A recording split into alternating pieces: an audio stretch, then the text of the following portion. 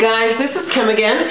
Um, I hope everybody's having a wonderful day today. Um, I'm having a great day, and I actually wanted to contact you guys because I wanted to talk to you about something that I've been thinking about for a while now. About uh, thinking about talking to you about for a while now. Um, I came across this product over the summer. Um, I had never had these before. Um, they're called lentils. Um, lentils, they're like a bean product. Um, they're good for your heart. They're, uh, they have bunches of protein in them. Uh, they have, uh, they're an antioxidant. Uh, they're good for your, your heart. They're good for your digestive system. Uh, they're good for your hair. They're good for your skin.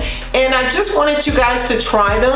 Um, you know, uh, they actually remind me of black eyed peas. I don't know how anybody else um, describes the taste, but that's what it kind of tastes like to me.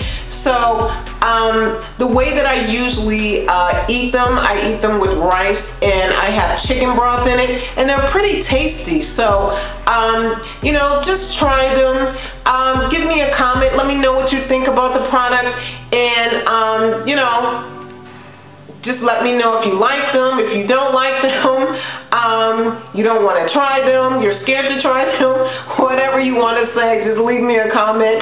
Um, let me know what you think and um, I would greatly appreciate that. I also wanted to say again, everybody that's watching the videos, I appreciate you so, so much.